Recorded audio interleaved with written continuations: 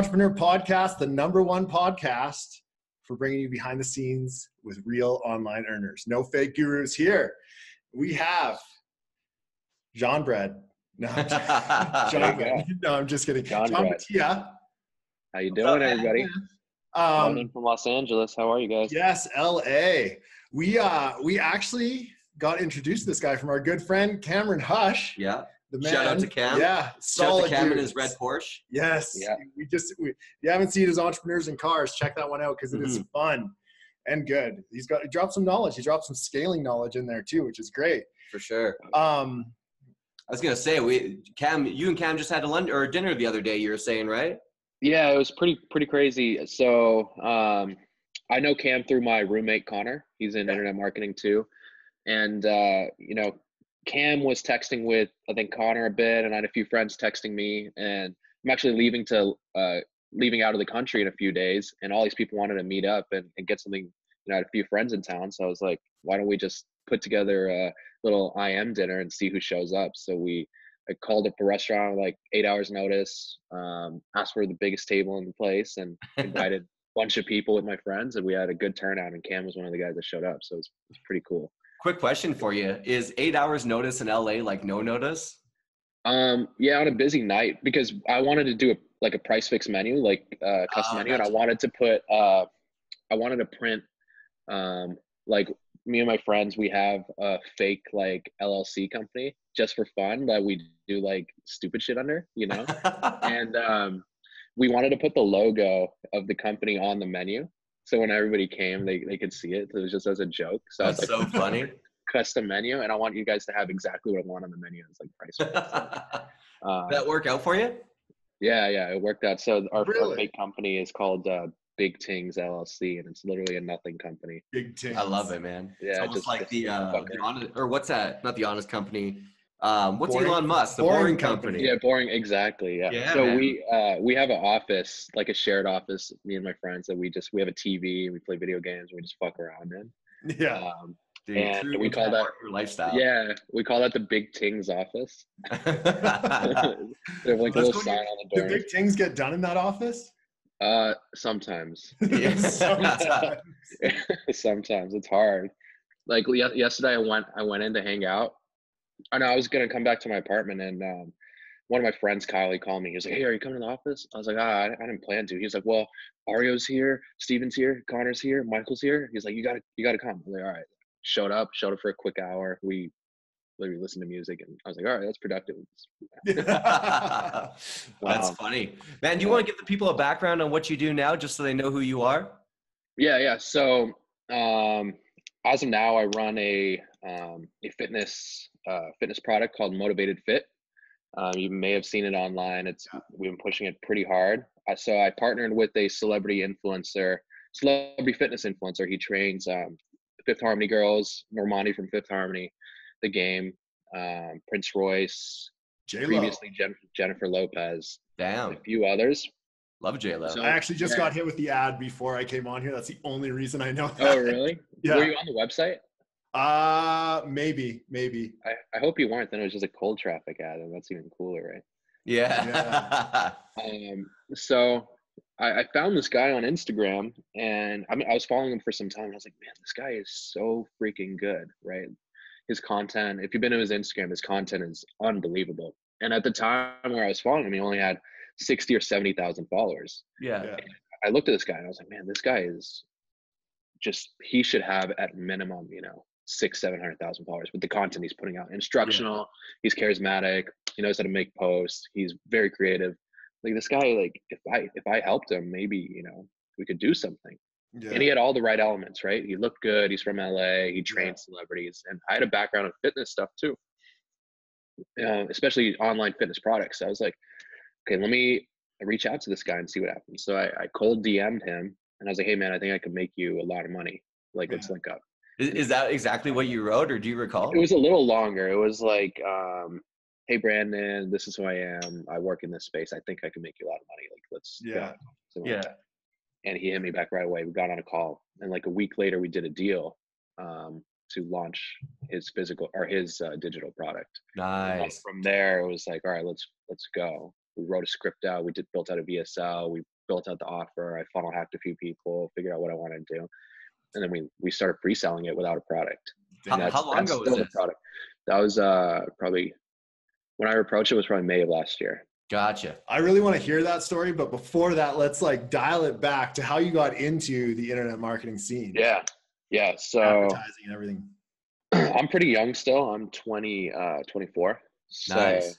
Um, when I was in college, I started a, a business. It was I wanted to sell uh, like men's accessories and jewelry and Yeah. watches online. Yeah. And uh, what I did was, um, I, I I wanted to start a business, but I a I didn't have a lot of money to start one, and b I didn't really know what to do. hmm So, I mean, the easiest thing was, and I think this was before like Shopify was really big and like you knew about it everywhere. It was like just when it was Shopify just came out. So the conversation was like, oh, Magento or Shopify or WordPress. Like, what do you do? Yeah, like. Nobody really knew. So I was like, I, I was a fan of like watches and stuff. And I think I sold a few watches that I own on eBay, like small, like two, three hundred dollar watches, and they mm-hmm. sold really fast. And I was like, oh, like I could probably make make some money doing this. So I what I ended up doing is I went to a trade show um, out of luck. I don't know why I was there, and there was a couple watch companies. So I got the sales reps cards, and I called them and I said, "Hey, can I buy some of your watches at wholesale?" Yeah. And they're like, "Yeah." And I said, "Okay, cool." So I bought some. Simple enough, Yeah. right? Yeah, and these companies, they were big companies, but they weren't really selling their own watches online. So there was a demand for people to buy their products online, right? Back then. Yeah. So I was like, oh, I could probably do it. So I set up like a generic website, like a Shopify website, and I bought their watches wholesale and I put them on the website, and it was like a little curated watch boutique. And they oh. started selling. I just started buying like I was well, I started it, and the first day no one came to the website. I was like, Yeah. oh, like, I didn't understand that you had to do stuff too. Get people to their website. If, if you you just know. build it, they won't come. Yeah, yeah. So I was like really, I was kind of confused. I was like, I thought if you make a Shopify site and you make it cool, like the internet's just a place when people search and then they go to your site, right? Like I was so naive. yeah. Um, I didn't know any better. There was like no content out there or anything. So I, I, I actually remember going on um, Shopify support and saying, Hey, there's like, I built this site, there's, there's wrong, right? And um, Did they was respond? like- yeah, they were like, oh, um, it was something, it was a long time ago. They're like, oh, you need to do stuff, right? Like, there's nothing wrong with your site. We tested it. It's all good. It's like, Yeah. okay. So it's like, oh yeah, okay, I got to do some marketing. Yeah. Um, like, who is this guy? I love it. Yeah. So uh, then I was like, um, yeah, I've seen a bunch of ads on Google and I've seen a bunch of ads on Facebook. I could probably drive some traffic like that. Um, so I ended up buying PPC ads, um, bidding on the brand's keyword searches, right? Because these brands were getting Oh. tons of traffic. Yeah. Dude, and they literally were not selling their own stuff. If they they either weren't, or if they were, they're doing a poor job. And then if they were and doing a poor job, then they weren't buying ads, Gotcha. right? So it was one of the three. What an opportunity. What year was this? oh man, 20, it's not that long ago, maybe five, six years ago. Oh, crazy. Yeah. It's just like it's insane how fast this industry grows. Yeah. Right? Like, Yeah. Five I years was, it should be like 20. Senior in high school or freshman in college. Yeah. Um, yeah. And then you know, they were boot, they were boutique brands. So we're not talking about Casio or Yeah. um, G-Shock or um, whatever, Swatch. We're talking about like watch companies that are like under $50 million.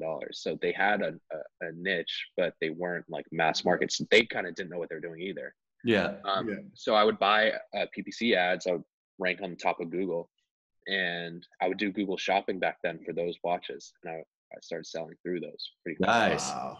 So um, I was like, oh, this is kind of cool. Did it blow up at all? It it did it did like at that time it did good compared to like what I know now.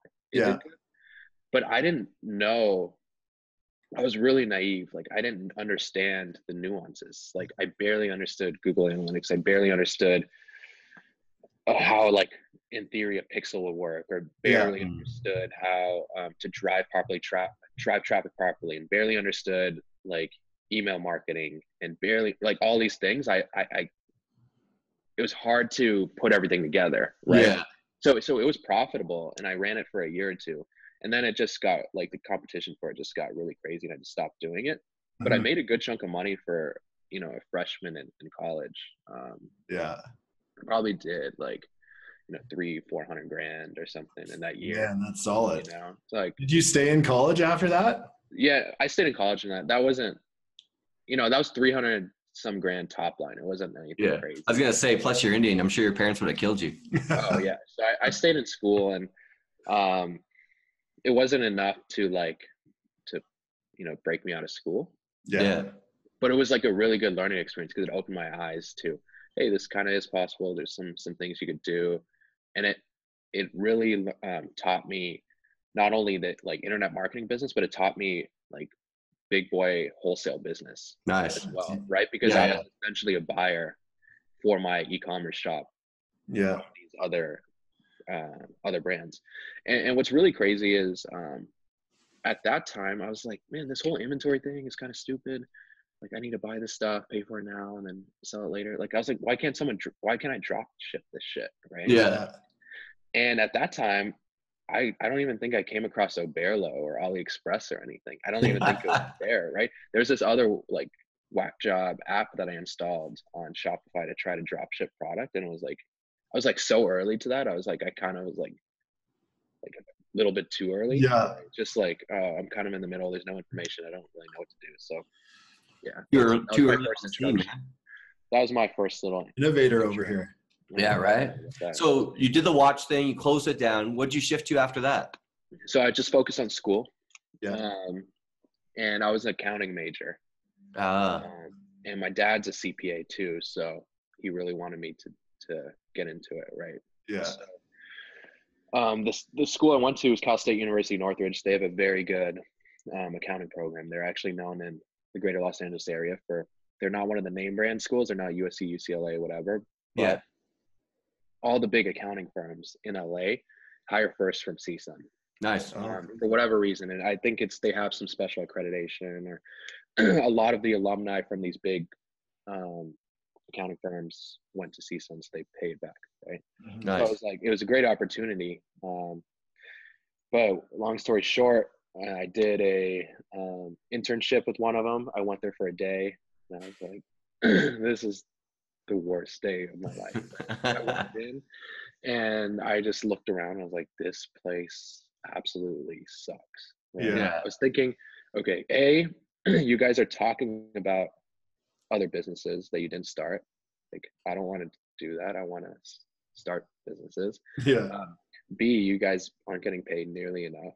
And C, you're working fucking like 60 hours, 70 hours a week in a Yeah. building with a suit on. Like, so I went in and I came home and I called the recruiting manager from the school and I said, Hey, like, uh, I don't think I could do this. And she said, Okay, yeah, I'll take you off the um, internship for next year or whatever. I was like, No, I don't mean, I mean, I can't do this now. Yeah. Okay, like, you're going to put in like how many days, like next week? I said, No, like, I'm not, I can't come in tomorrow. Like, oh, okay. And so I, at that point, I changed my major to marketing, and I said, How'd your dad marketing. feel about that? I think he understood it. He understood Yeah? it. That's I. I, I, he saw how depressed it was when I came home.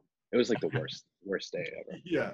And um, um, yeah, I switched to marketing, and I sat in a class with a 65 year old dude, 70 year old dude, trying to teach about marketing. And I, the guy, I, I remember not showing up to many of the classes, and then, but I'm I'm really like not book smart, but I understand how to take tests and Yeah. study for classes and things like that. So By like, the I don't last need to year's take- test, right? yeah, I was like, I don't need to show up to class for this. Like, how hard could this this thing be? Yeah. So, the, you know, the first test comes around and it's like all about digital marketing, right? I'm like, oh shit, okay, cool. This is great. I'll be good at this. And um, I wrote, it was like, you know, I forget a bunch of questions about social media, digital marketing, Instagram, things like that. And I took the test and I filled it out. I, I, I left the class, remember feeling really good.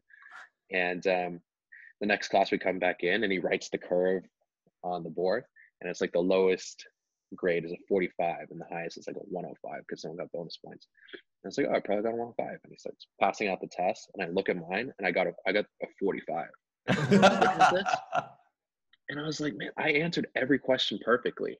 And I went to the, the professor. I was like, what's the deal? Like, this is, this is great. He was like, no, you're supposed to uh, answer the questions based on the notes in my slides that I show in class, right?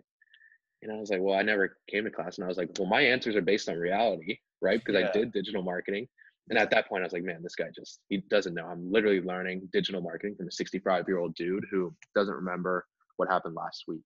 you know? Yeah. Man, that's I was like, how could I actually wow. learn anything about marketing here? So at this point, I'm like, fuck this, dude. Like, this is this is awful, yeah. right? And that was my point where I was like, okay. I had, I had a couple other things in the work on um, business side, and I was like, okay, like my paths are conjoining. Like this, I, I'm not learning anything from this, and I have a few opportunities that we could talk about later in um, like the entrepreneur space. I was like, Yeah. Okay, I just gotta, I'm done with this. Like I could always go back to school, but I have some opportunities right now that I just I can't pass. Nice, Yeah. man. So you finished. So you called school quits, and what'd you transition to then? So um, at that point, I was doing um, consulting for, um, like, what's the best way to explain? I was doing consulting for um, larger brands, right? Lar- And larger brands that have had success, but they didn't have, they haven't leveraged their success in digital or online. Gotcha. Um, so I, you know, one of the companies was a, um, it's an apparel company. They were doing multi-million dollars at the time and crazy success, but they weren't really leveraging. And then the Mhm. other company was a fitness company that they weren't, they had a great product and they weren't really doing anything either. Mhm. So I used basically what I learned, you know, when I ascend- failed my watch company Yeah. and learned all of these tricks I basically implemented on there. And now there's more information I and I had more resources um, because I wasn't putting my money into it. I had other people's resources to experiment and learn and then basically extrapolate.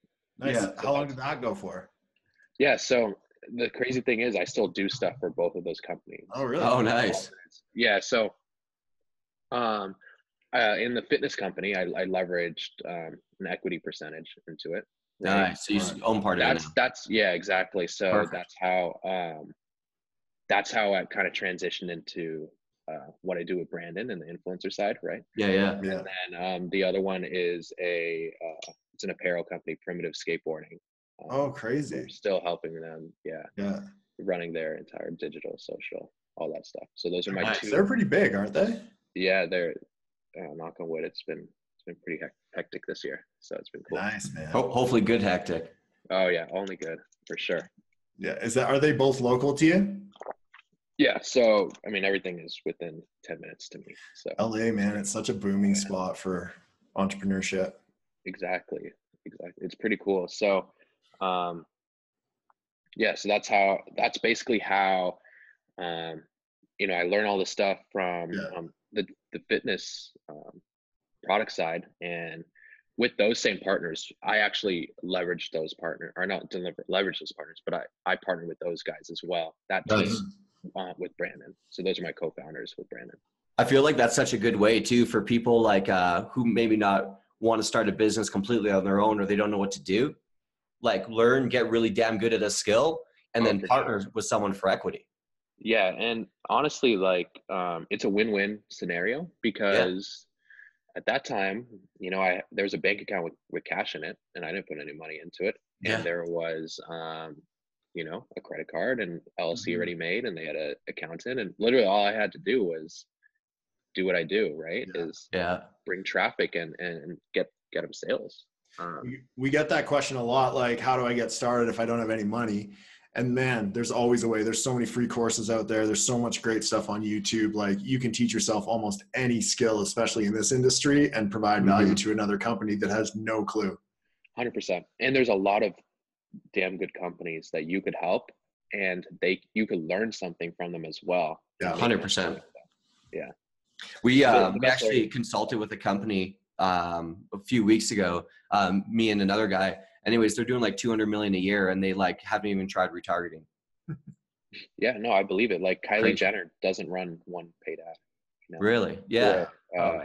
Kylie Cosmetics. You know, Yeah. imagine if she had a retargeting funnel or an abandoned cart sequence or anything. You know? Yeah. How You should reach out, bro. Reach Uh, out. one of my friends actually reached out and they were like, "Yeah, we're just not interested." yeah. We're doing good without you. Yeah, we're doing fine. That's fine.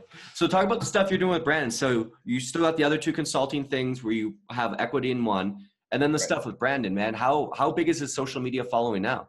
Okay, yeah, so that's the crazy part. So essentially, you know, while doing those other things, I saw some flaws. I the major flaws were scalability, right? Because you you have physical products, hmm um, shipping issues, logistics issues. You had inventory issues, um, and uh, just with dig- with physical products, there's other other things, right? You Yeah. can't scale as much as you want.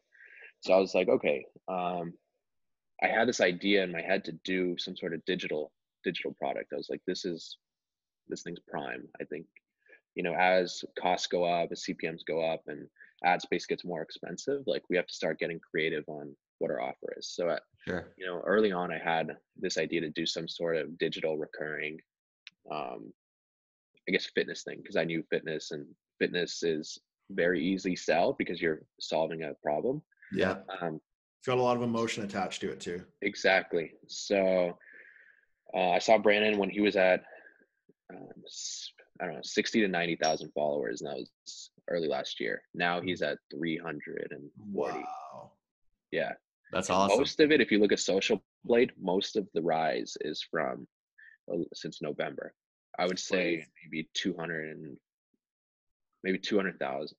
That, That that uh, tool you just mentioned is actually something we haven't talked about before. Do you want to explain that tool a little bit? yeah, so Social Blade is um let me pull it up. quick. Social Blade is a site where you could actually look at brand accounts and influencer accounts and see how much they're growing per day per week and you could see their um, trajectory. Yeah. Also, what it does is it gives it gives that influencer a grade based on um, how they deem how uh, good their followers seem to be. Right? Are their followers engaging? Are their followers liking, sharing? Do they have any bot bot Yeah. followers, etc. So you could see someone on there, for instance, like a model girl or something, and she has two million followers, and you're like, oh, I'm gonna seed her, or it's, I'm gonna give her some product, or I'm gonna blah blah blah, and then you look at Social Blade and her grades an F. You're like, Yeah. okay, there's, there's no point. So a great tool to find influencers to Yeah. push your product. We use it to find yeah. influencers and to rate them to see if it's even worth your time or money. Yeah, we use it for uh, watching our YouTube stats and also for seeing our growth on Instagram. I don't Yeah. know what our grade is though. It's probably not the best. It's hard to get a good grade, um, but it's just it's a good baseline, right? Yeah, no, it's really cool, man. And you can watch like live. The, the cool thing I like is the live streaming uh, subscriber count. Oh, I haven't seen that. Haven't seen- Yeah, for YouTube, it's pretty cool. Oh, man. for YouTube. Yeah, Yeah. So on here, um, the go ahead. numbers are uh, Brandon. I don't see monthly averages. It says about ten thousand a month right now. crazy. That's big, Yeah. man. Yeah, it's. I think it's gonna start peaking a little more than that. Like November. I wish I could pull up the number for November, December, but it was. He was gaining, you know, thousand, two thousand a day. Is it from paid ads mostly? the paid ads. So uh, the combination is paid ads and vir- viral content, right? Yeah. So he has great content um, already, but he didn't have any juice behind it. So the second we dropped the course and we poured a little gasoline on the fire, and gasoline I mean traffic, his engagement just went through the roof, and his stuff started going crazy viral. So That's like, awesome. if you look at before we partnered, his videos were getting 20, 30,000 views. Now his videos are getting a bad day is 150,000. Damn.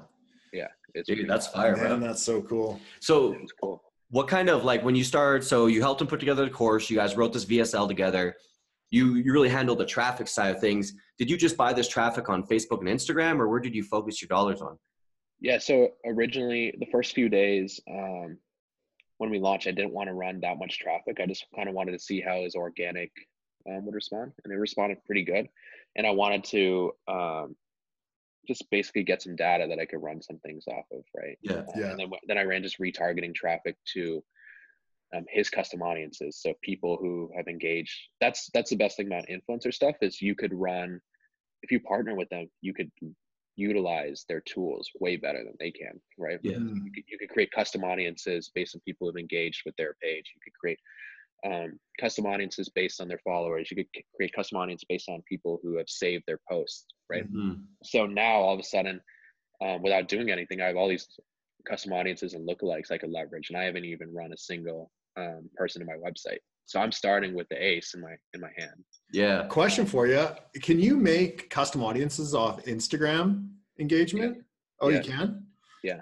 So I mean, he had a hundred or ninety thousand followers or whatever it was at the time. So now I have a custom audience of his followers, and a custom audience of people have saved his posts, and a custom audience of people who have engaged, and a custom audience of people who sent him messages, Yeah. and a custom audience of people who went to his website because he actually had a pixel on the site. I believe, Yeah. Or whatever, and he had an email list. I'm like, all right, Yeah. cool. We're we're sitting pretty without even doing anything. Man, there's That's so many After- custom audiences. Man, Yeah. never ending. and then out the gate uh, after a few days or a week or so i started running some paid um and yeah it's started running some cold paid and it started doing pretty good i was like okay we're on Did you go straight for was about to cold? Did you go straight for cold paid, or did you do retargeting out of the gate? no no i started with retargeting to Oh, his sorry, I missed that, man. yeah yeah yeah yeah so i ran cold to his audiences or retargeting to his audiences and i Gotcha. ran retargeting My uh, bad. no all good The campaign as well And then, uh, so when you started running cold, your original VSL worked right out the gate. No, it was um it worked, but it was a little dicey because the AOV was a little low. Um, Gotcha. And AOV, just so people who don't know, it's average order value. Yeah. So I mean our average order value was it wasn't optimized, right? Of course Yeah. I looked at how other people were running their offers and kind of took inspiration from them. Mhm. But um, you know, the pricing was all over the place, the order bump pricing was all over the place, the back end stuff. Mhm. It was like wasn't put together as well. Yeah. So since that point we've actually doubled yeah, probably doubled our average order value since then. Just by iterating and tweaking and we've increased our conversion rate And that's so important. I feel like that's one thing that people miss. They think if they put something up and drive some traffic, it'll convert right out the gate. But there's really a lot of iterations you have to go through to make something work. And like what he's talking about now, if you increase your average order value, um, the more you can increase it, basically, the more traffic you can buy. Yeah. right and like uh, you know at our office um you know our, our friend's office like we talk about we have a big whiteboard and we talk about this stuff all the time right it you have to be able to control the things that you can control so Yeah. you can't control everyone's always complaining about facebook Yeah. and instagram and google i hear it every day and it's the most annoying thing in the world to me right Yeah.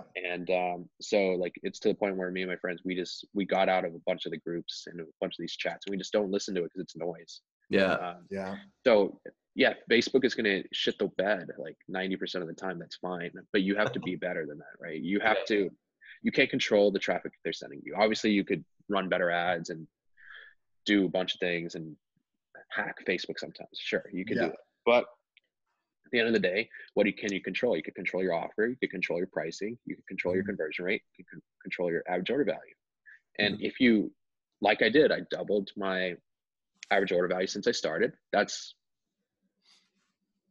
instead of doing a Oh. million that's two million right Yeah. But doing no extra work same traffic Yeah. Yeah. and i Dude, I love that example you just gave. It's literally the same amount of traffic comes in, but double the revenue comes out.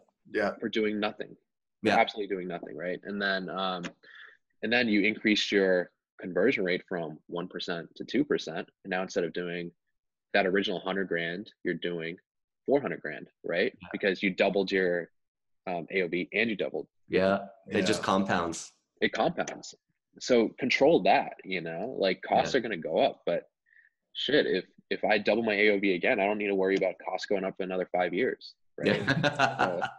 Yeah.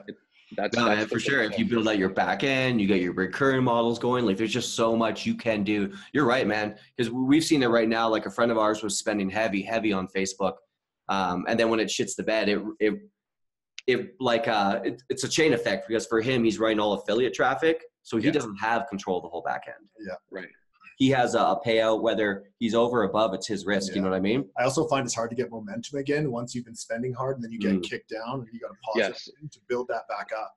it's the hardest thing in the world. Um, and, and these things don't matter when you're doing a thousand dollars in sales a day. you Yeah. know? But once you start really spending um, a lot of money on ads, like you want to get your money's worth because it gets scary sometimes. You know, you don't want to um, sit at your computer and you know you have no margin for error. You're running on you know zero margin, five percent, five percent margin, and Facebook is going to have days where you have really, really good days, or even Google or YouTube. You can have days where you have really, really good days, but you can have days where you have really, really bad days. The, the name of the game is to like keep everything proper, make sure you're not getting too high, not getting too low, and you could afford the losses and you could take your Mhm. wins. Like that's Yeah. Do you rely solely on uh, Facebook traffic, or do you guys run multiple channels? So we're trying to get a little savvier on um, what we're running. So we run Facebook, Instagram, YouTube. We're starting to dabble into Pinterest as well. Nice. Interesting. Have Yeah. you tried? Have you tried Snapchat for that? Snapchat's the worst. you don't like it? I can't get it to work I, I, at all. That's I- I funny. We've heard uh, we've heard mixed stuff on Snapchat. Yeah, I mean, I've heard mixed stuff too. Um, I've had a bunch of people that I know test it. I s it Yeah. seems like it's only working for really clickbaity affiliate offers, from what I hear. Black That's what hat I, we've heard too. I get hit with that male diet shit all the time. For no reason. Yeah, yeah, exactly. What uh, is your demographic generally an older one? Demographic is very diverse. Uh, it's probably sixty percent male, Yeah. forty percent female, and then age is probably pretty even across the board. Oh, interesting. Really? Yeah, I- I know. Uh, I would assume, anyways, that like um, Snapchat would cater more to a younger audience. it would. I just, I don't know if I'm doing something wrong. I just, I spent, Yeah, I'll put your link in there. yeah. No, I'm just kidding. Uh, Uh, no, that's cool though. So right now you guys are uh, Facebook, Instagram, YouTube, and then you said you And then- tried some Google. Yeah, we're doing Google uh, retargeting and brand stuff, and then we do a little bit of Google display. How's Nice. YouTube? YouTube's great. Yeah. Yeah, nobody nobody touches it, but it's great. Dude, I know. I feel like YouTube's such a little gem right now that like a lot of people aren't touching, but their traffic is huge. Their traffic is huge, and um, with uh, the CPA bidding, it's way more stable. So you could, um, and they're what do they call it? They're similar to audiences or like look like audiences, and they're really powerful. Could you explain CPA bidding for people? So CPA bidding is essentially target cost bidding in Facebook. So in Facebook, um, if you have an ad or not an ad, if you know what general um, your cost per purchase is looking like, and it's it, it's fluctuating day to day. Like some days, let's say you want a twenty dollar cost per purchase, and some days you're getting forty, and some days you're getting ten, and you're like, "Uh, this is too unstable for me. You could go in and put in a, a twenty five dollar target cost bid, right, on an ad set, and put a high budget, and you know it'll stay within line that bid. Mhm. Yeah. Is it pretty accurate? On Facebook, it's great. The only problem with Facebook is it it's hard for it to spend the budget. It Mm. doesn't Gotcha. spend. Um, on Google, it's fairly similar to that, except it's easier to get it to spend the budget, and it's like the budget once you get it to spend is way more stable. Where on Facebook, sometimes it spends, sometimes it doesn't, sometimes it does. In Mhm. Google, it's it's way more stable, and then you could scale it Yeah. better. That's awesome. That's a good little tidbit, man. I didn't know about that. That's cool. Yeah. yeah cpa bidding is pretty great you could use it uh, cpa bidding for uh, search campaigns as well Oh, really? Yeah. So Damn. CPA bidding on Facebook. That's just in a in when it's just target cost bidding target cost. Yeah. Okay. Yeah. Do you go higher than what you want? Or yeah i go higher um, but at that point you're just looking for scale and um, Mhm. Like Mhm. efficiency do you? So do you ever run auto, or you just usually if you everyone makes fun of me i don't run a lick of auto anymore really yeah interesting? everything i do is um, target cost bid cap Yeah. and then retargeting i'll run auto Yeah. but for the Just to clarify, how much do you spend a day roughly on that? um, anywhere from 5000 to 15000 a day Damn. Well, Yeah. There you go, guys. It works. Yeah. So Crazy. That's awesome, dude. That's Uh, yeah, we've been uh, talking to some people that like down here in Denver, and they're they're like um, refi guys. Yeah. Yeah. And they'll spend 25, 30 grand a day, um, but they do a lot of like CPA stuff on Google too, and they've been pretty happy with it. They found it Yeah. to be a pretty like stable channel.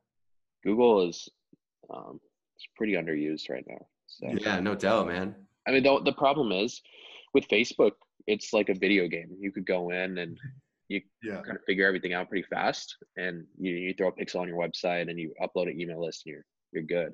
Mhm. With um, Google, it's a little more tedious. There's like you have to set up like Tag Manager and Uh, Google Analytics, and you got to understand what you're doing. And the, the Mhm. campaign setup is a little wacky. It's kind of hard, but Yeah. once you learn how to do it, um, Yeah, man. I tried to set up some uh some Google ads for our our channel, and I couldn't get it to spend no matter what it's I the did. worst. It's the I, worst. I didn't But- understand, and I I hit up the I hit up support, and they're just like, "Oh, do this." So I did that. Still didn't spend. Yeah, and and then most people would just give up right there, right? Yeah. Like that's why people just don't do it because it's just not fun. Yeah. That's good. B- bigger the barrier to entry, the more I like it. Yeah. For sure. For So sure. I mean, I, back I- that- like I actually sat there and did it. I hired somebody to you know, Smart. set it up for me. Uh, I love it. but um, yeah. How much? Uh, how much have you guys scaled this new uh, business or fitness brand up to? Because it hasn't even been a year yet. yeah, it's been less than a year. Um, what are we doing? We're doing like every month is fluctuating, but we're Yeah. doing like let's see. We've crossed, I think, two and a half million or something in sales. Very cool. Wow. Yeah. You know, the moral of that story is if someone DM you, DMs you and says they can make you money, you Don't might, ig- you might want to hop on the phone. Don't ignore Yeah, them. Exactly. What was it at? I'm- What was it doing before you jumped on? So the fitness, uh, this product was non-existent before I jumped. Oh on. yeah. yeah, yeah. I, I, I'm co-founder. Oh yes. Because he was Yeah. just doing personal training before. Yeah, he was doing personal training and celebrity training. Gotcha. Probably some meal Okay. plans every now and again. Yeah, so he, his business was. I mean, he was doing great for himself, but he wasn't doing um, Mhm. uh, like this million type of years. stuff, right? Yeah. Yeah, so yeah, he was doing um, meal prepping for celebrities and CEOs. He was doing um, in-house personal training, and he was doing on-the-road tour training for musicians and actors when they're on the Gotcha. road. What uh what's the package you guys have built now? Is it like kind of like, you know, shed your belly fat or gain muscle or how's it look? Yeah, so that's a great question, and that's where I see like our biggest growth is going to be Mm. is um, exactly what you said and segmenting it out to a bunch of different um, Yeah. offers. Right now, it we've been rocking our same offer since day one, and it's literally at home celebrity blueprint to lean out, and it's a Oh, that's 90 cool. transformation. Uh, you don't need any equipment. You do not need any gym. You can do it at our office or in your living room and that's the same offer we've been running. But uh, what we're looking to do is obviously one offer doesn't fit all people. As you Yeah. guys like, some people are trying to gain weight, some people are trying to lose stubborn fat, some people are trying to get healthy, some people whatever. Yeah. But we're trying to create. We're in the process of creating different offers for every different demo. Mhm. Nice. That's Our, awesome. like next sixty day plan is to get that launched. Yeah. And then the way you guys have it set up now, what's the uh excuse me, the front end cost to consumer? And do you have any residual built in? Yeah, so um, it's forty-seven dollars front end offer, and um, my goal for that is just to pump as much traffic to it as possible. Yeah. Um, I'm not really worried about the front end being profitable. Yeah. I make money on the order bump, upsell one, upsell two, upsell three, upsell four.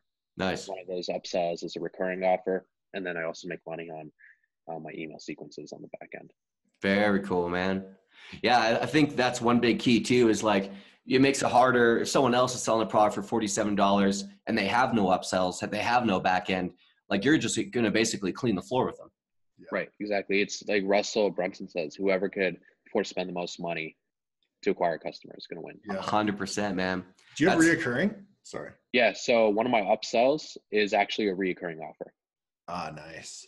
So um, the goal with that is like if, as you guys know, if I had my initial offer as uh, recurring, my conversion rate is going to be lower. Yeah. So the way I did it is, yeah, I- don't need to be profitable on the front end 47, but I am. If I if that was a subscription, uh, if that was a subscription offer, it wouldn't be profitable. Yeah. And then my opt-in is pretty high to the recurring on the upsell. So I mean, uh, it's it's a it would be dumb not to do it that way. Yeah. Do you guys right now like do you send them traffic straight to the VSL or do you do it to like an ebook to collect the email opt-in and try to work it from there or how's it kind of Yeah, flow? we do it straight to the VSL. Nice. Um, doing it to an ebook or a free download or some sort of messenger opt-in is probably smart. Yeah. We are actually we're doing some sort of we're actually in the process of launching a new, um, like uh, like editorial like type Yeah. thing, nice.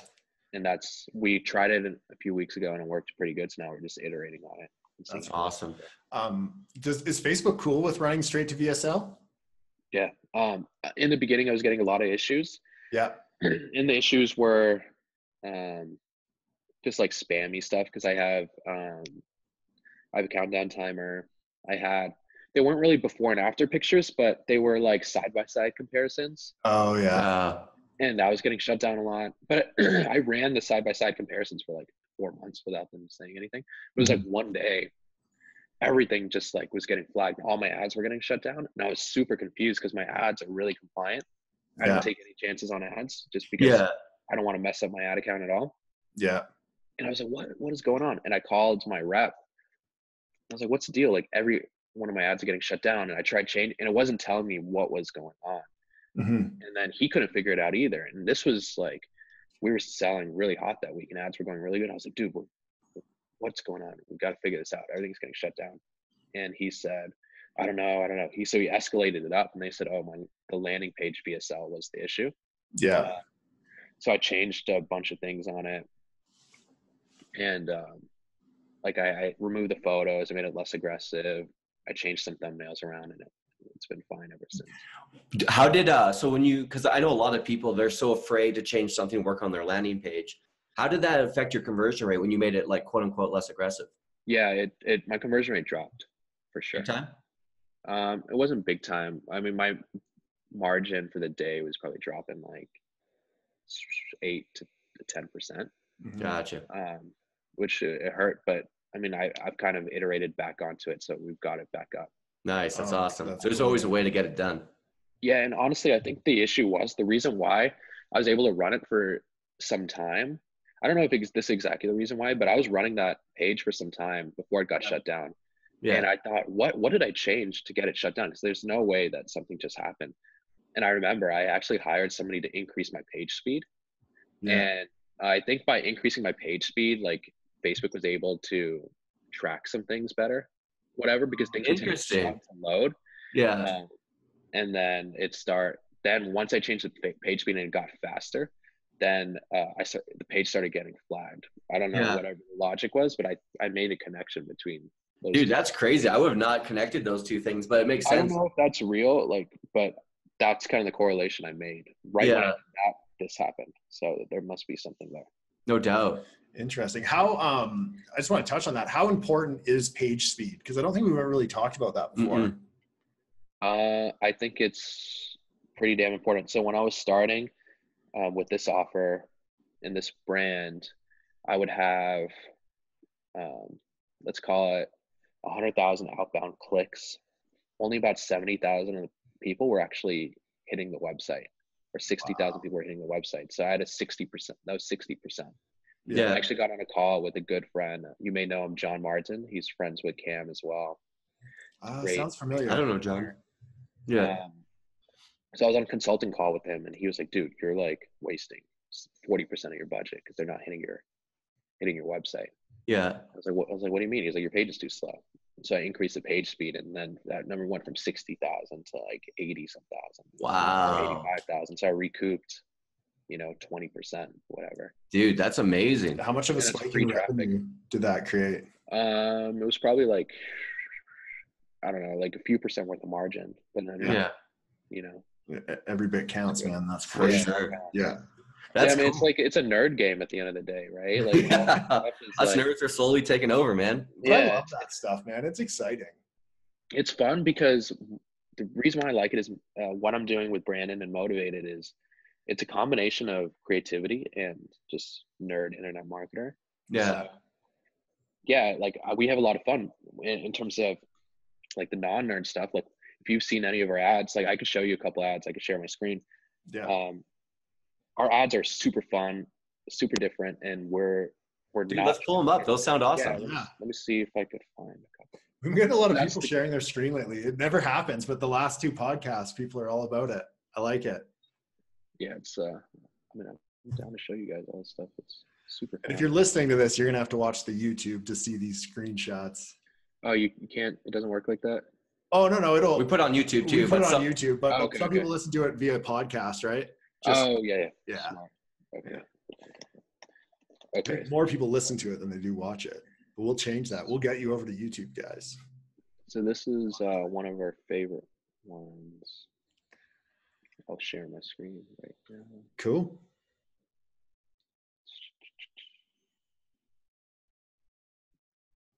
oh, here it goes. Let's see it. Oh, nice. I didn't know I was on there. Dude, I've seen this guy before. Yeah, You kind of did the uh, like the, when I saw this, you know, the first thing I thought was Dollar Shave Club. exactly. That's what So. I- I So just to clarify, I don't know if this is going to come through on the recording. I hope it does. Um, but if not, check out. I'll just show uh, like 10 seconds of it. Yeah, yeah, cool. throw it up. Oh, we can't hear the audio. because it's in your ear, but that's fine, man. Oh, all good. But um, I'll, I'll explain it real quick. It's basically um, I know a that's Dollar Shave Club style direct response video. Yeah. Super parody, um, like just very different from traditional fitness. It's we Yeah. to go go very mass, and seven these are the type of ads we do. Yeah, this one, a lot of it's paid, um, but it did, Yeah, this one did great. Dude, that's crazy. Yeah, I have seen this brand. I've definitely been hit before. yeah. I'm sure. I mean, the I, I remember his car. I, I always get. I remember people's cars more than anything. the script was you know we you know we sat together and did the script and we tried to we try to go out to dinner like once a week or whatever and and just come up with script ideas yeah. so like that's kind of the yin and my yang of like nerd internet marketer and Yeah, man. you know creative stuff Talk Um, about the production in this, man, because that's another thing. People, I feel they they feel like they have to have such like crazy production. Um, what do you guys you- have? Do you have a lot of cameras, or how do you guys roll it out? i mean we're fortunate that we we could hire pretty good um, videographers and Yeah. editors but i mean the first videos we did we um i chopped up his some of his instagram clips and made it into a compilation video you know? Nice. I All paid shot on iPhone, like yeah easy I paid fifteen dollars for it um, to an editor in the Philippines to chop it up and add subtitles. Nice. So yeah, you don't need to do anything crazy. What What about like as far as your team size? How many people do you guys have over there? Yeah, I need to count. So we have three customer service people. We have I have a um, accountant dude, bookkeeper dude. I got a um, chargeback fraud fraud person. Uh, I got a full time VA that's a uh, script writer. Yeah. Uh, I got Where's that uh, VA based? So that VA is Phil or no, he's in Canada actually. Oh, Uh, nice. yeah, That's a Our personal people- favorite. We're, Yeah. we're both from Canada.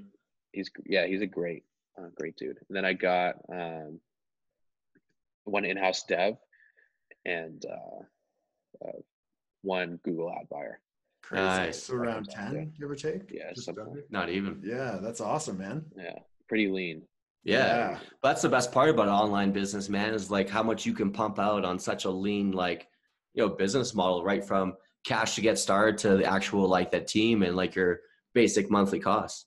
it's pretty crazy um and then anything else we need is is freelance so we freelance photographers all the time we freelance video guys all the time Yeah. we freelance editors all the time um i freelance consultants all the time like i i don't pretend to know everything Um, Yeah.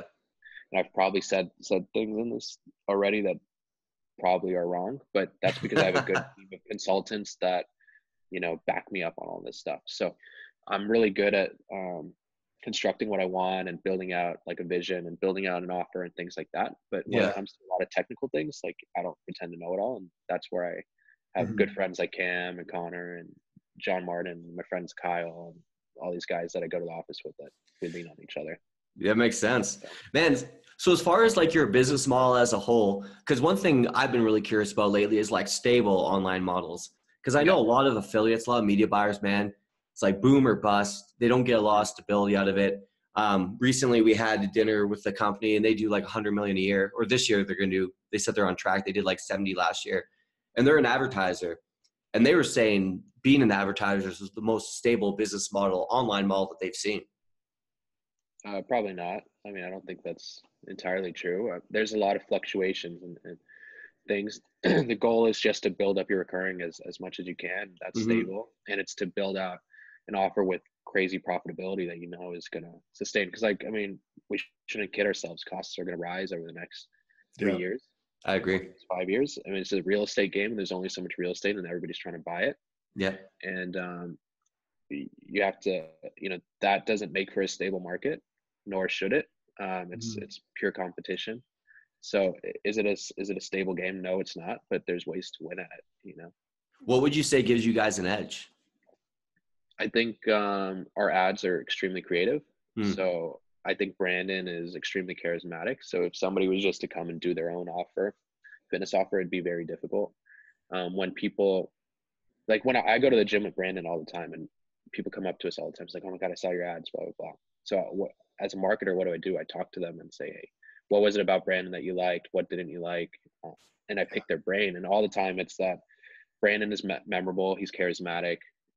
He knows what he's doing, and he has the social credibility of Instagram, and then also by teaching these influencers. Nice. So Yeah. the big part is our our ads. Uh, Brandon, our offer is very good, and then we're also really nerdy in terms of back end internet marketing. nice. So that that combination is great because most people don't have the entire combination. They're great marketers, Mhm. but they don't have, you know, the Brandon counterpart that I have, Yeah, or they yeah. don't have the creative counterpart um, that is needed to drive good quality traffic these days. Yeah. What would you uh what would you say to someone who's basically like let's say doing drop shipping right now or doing affiliate stuff and they wanted to build something more stable kind of like what you've built not exactly in the fitness niche but what kind of advice would you give those people to go find the right person to, to that fits uh the description that they would need to build something similar to you Yeah, I mean, I, I think it starts with somebody you probably already follow, right? So you have to do some of your own internal psychology of like, who do I follow? Yeah Who I already follow? Why do I follow them? What makes me follow them? Like, and then and then you could kind of backtrace it a little bit. So for me, I followed Brandon for a long time. I was a fan of his. yeah And why was I? I, I did some thinking. I was like, why was I a fan of his? I was like, oh, he's entertaining. Um, I learned things from him. He solves a problem. All these things. So it could be anything. It could be, uh, I don't know, a basketball trainer that you follow online. It could be a chef. It could be a chess player.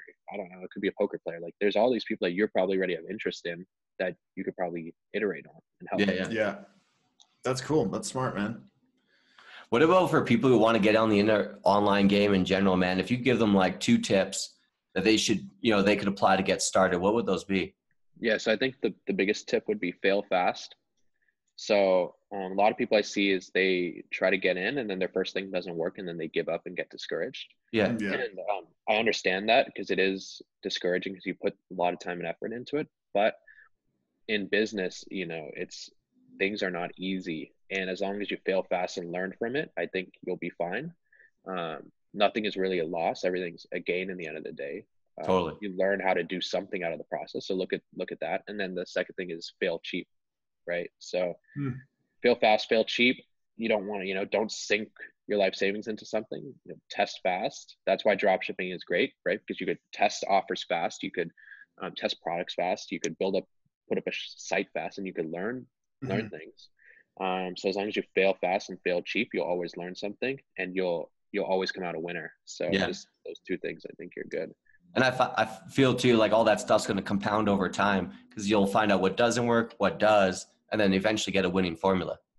Yeah, I mean the the biggest guys in the game that you guys probably talk to every day have tested hundreds of things, right? Oh yeah And and they continue to. It's like it's not something that stops either. Or like Facebook changes and their offer gets banned, and you know three months later they're spending a hundred grand a day now on Facebook on their offer because now it's compliant. Like they're right. always they're always going, man. They don't stop. Yeah. Right. Um, like I'm I'm good friends with um, Alex Mehr. You know Alex Mehr, the Mentor Box. He's good friends. With, Oh yeah, uh, yeah, Tai Lopez, and he's testing products every day. yeah. The guy's worth millions of dollars, and he's every day he's testing. I mean, Yeah. not product dropship products, but like offers, right? Different things to run all the time. And he's this guy's a boss, right? He's done a billion dollars in online sales, and Wow. he's Jesus. failing fast and failing cheap too. Yeah.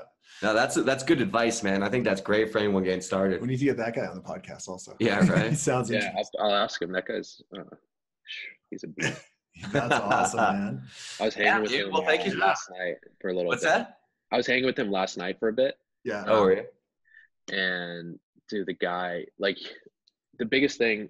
I mean, that's the one thing I'll add is if you want to get started, I mean, I would find some sort of mentor. Mm. Um, just reach out. People want to help you guys. Like, Isn't it kind of crazy how much people are willing to help? yeah, for sure. I mean, just if you be a little, if you, it's it's a give take relationship, right? Yeah. So yeah if you go up to someone and says, help me, like help me build my business, they're gonna say no. But if you offer them something in exchange, like when I meet people that I look up to, I never ask them for anything. It's, Yeah. That's a recipe for failure. I always give them something in exchange and build some sort of rapport.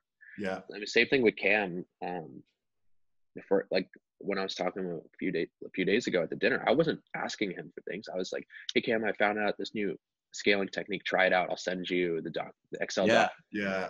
And then I, I don't need anything out of that. It's just, but it builds a rapport that hey, I could trust you. You could trust me. And it's the same thing I did with Alex. You know, I went up to him. I was like, "Hey, I saw this thing on MentorBox. Like, if I were you, I'd test this." Yeah. And he's like, "Nobody's telling me how to do anything. Like, that's cool." yeah, blah, blah, blah. And he appreciated that yeah. and Yeah. then now like we help each other but um if you get a mentor of some sort like it accelerates the process because they'll allow you to um, Yeah. not make mistakes and they'll guardrail you for sure Yeah. I like the other thing you kind of alluded to too, is just like the value of a network in this space. yeah for sure i mean it's it's everything because there's so many highs and lows Yeah. um and there's so many things you could test and so many things that are changing all the time that if you have friends that you could talk to and bounce ideas off of and go to dinner with and go to the office with and work with and collaborate with Yeah. you'll learn things way faster because like so many times we're in a room and we're like hey um, a square picture ad on newsfeed target cost um, bully like bully method is working Yeah.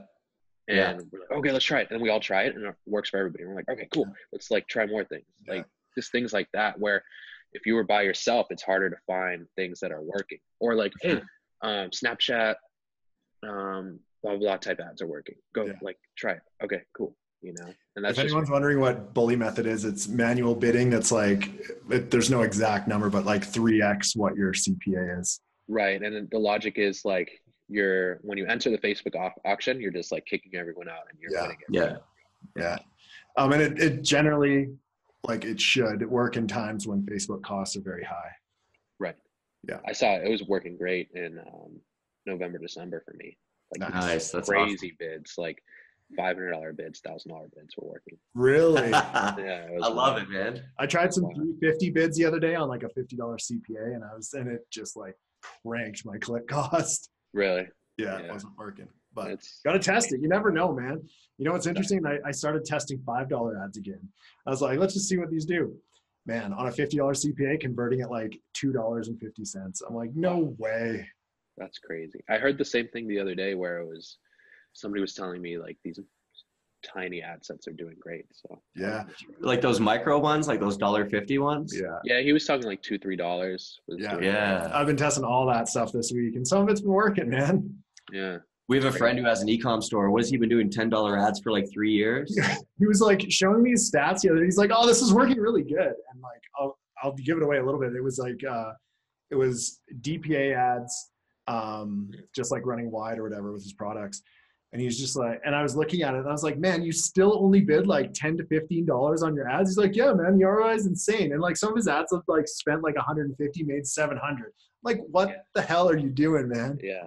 Yeah. No, I, I've been iterating a lot on that too. It's just a crap ton of ad sets.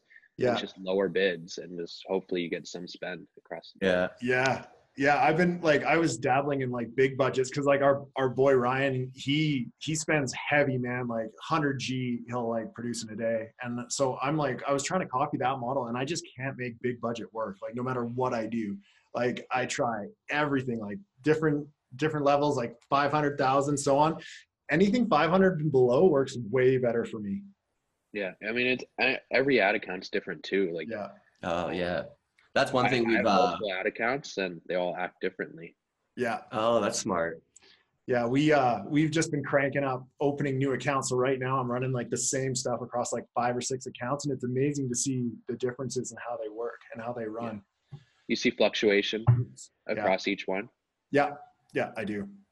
And uh, it's almost like the newer accounts that don't really have like a ba- and like because we're running affiliate stuff, right? So I'm assuming that they're gonna have some sort of bad rep. Like we're running like white hat stuff, but still, you know, world doesn't love it. Um, so we notice like on fresh accounts, like the CPA and the click cost is so much lower. Like one of my accounts that I just fired up today, it's running probably like a 50 to 60 cent, like less click cost than um, similar account next to it that's been running for like a couple months. Crazy. Yeah. Crazy. That has to do with like feedback on the ads too. And Yeah. um, all that stuff. So I, you could try different pages and things like that. Yeah, that's Yeah. the other thing that we haven't really dabbled in is like multiple pages. Um, I don't know, man. I was like tr- really trying to figure out like, will it make a difference in terms of the rep of the page and stuff like that? And that's something that I got to test this week. Just- It's just like there's so many different tests you can do. You can Yeah. be testing for days. I think everything matters. You know, Yeah. it's crazy. For better or for worse. Yeah, man. Yep. Probably for better. Yeah. Awesome, man. Well, dude, thank you for so much for hopping on and uh, you know helping out our audience and being here. It's cool to hear like it's actually cool to see the guy behind the face because I've seen this Yeah. guy before all over my Instagram. Yeah, man. Appreciate it. So you're targeting the shit out of me. I haven't bought yet though, so you might want to remove me. It's But maybe I will now. Yeah, it's also cool to hear your story, man, because we didn't know each other since like we hit each other up on Instagram the other day, and here we are. So it's uh, it's Yeah. great to like meet you and hear your story. No, I appreciate it. Thanks for having me. Hopefully, I offered something of value to to you guys. I think so. awesome, Tyler. You want to close her out? Well, I was gonna say, man, if uh, people want to get a hold of you, uh, is there a good way, or Yeah. how are you with that? Uh, yeah, you can send me a DM. Um, what's my handle? Uh, I should I changed my handle the other day. Yeah, so my handle is my name. It's um J A A N B H A T I A. You can Oh, send me a DM. you. You're an OG. Oh yeah, you Yeah. were you were gonna st- you're starting to do some consulting too. I've been doing consulting, but uh, way less than I than I was. Yeah, because you were telling me that you wanted to talk about what was it that you were talking Yeah, about?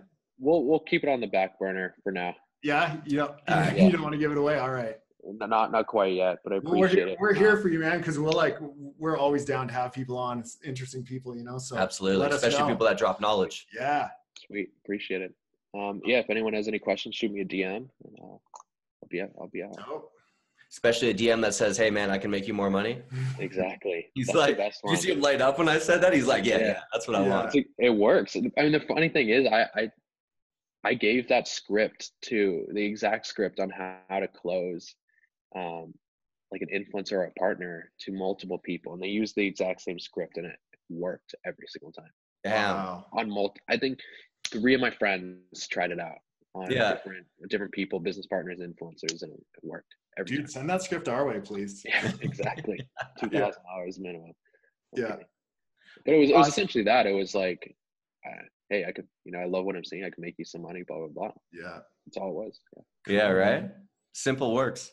Yeah. Simple works. Yeah. Awesome. Well, dude, again, thank you so much for being on. Um, everyone who's listening today, thank you so much for listening. If you're watching, thank you for that. Please don't forget to subscribe to YouTube and listening. Uh, please give us a five star review on iTunes, Spotify, Stitcher, and just stay part of the community. Thanks. Later, man. Thanks, guys. Appreciate it.